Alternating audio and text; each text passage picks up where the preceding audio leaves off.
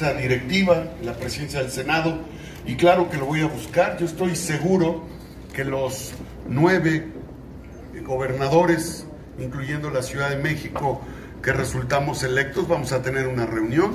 Es muy probable que la doctora Claudia Sheinbaum nos invite a un encuentro con el presidente y tendré la oportunidad de agradecerle institucionalmente eh, lo que ha hecho por Puebla, y entregarle buenas cuentas, porque es nuestro líder político, sin duda.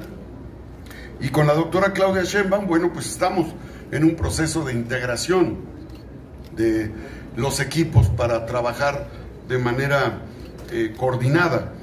Eh, con respecto al aeropuerto que comentas, el aeropuerto de Puebla tiene que evolucionar eh, entiendo que hay algunos aspectos que, hay que mejorar, hay que, pero también hay que decirlo, tiene, ah, tiene vuelos, tiene vuelos internacionales, vuelos nacionales, hay que dinamizarlo, pero también hay que dinamizar el aeropuerto de Tehuacán. ¿eh?